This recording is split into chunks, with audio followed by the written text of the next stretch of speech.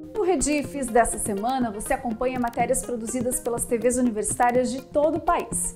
Vamos falar sobre a relação entre humanos e animais e como os bichinhos podem auxiliar em tratamentos terapêuticos.